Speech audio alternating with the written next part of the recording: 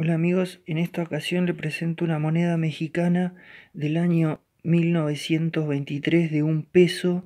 Es una moneda con un peso de 16,666 600, eh, 6.600 gramos, o sea 16, casi 16 gramos y medio de plata, con un contenido de plata 700, eh, un canto eh, parlante que dice independencia y libertad.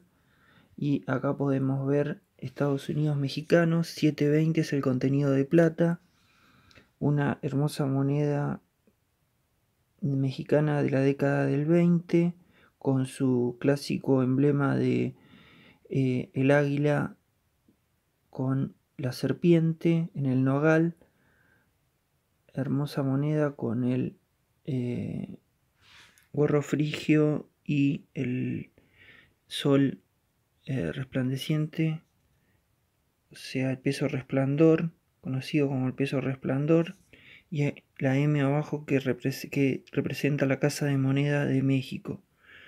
Bueno, si les gustó este video me gustaría que le den like, que lo compartan, que me dejen sus comentarios y eh, lo más importante que se suscriban al canal.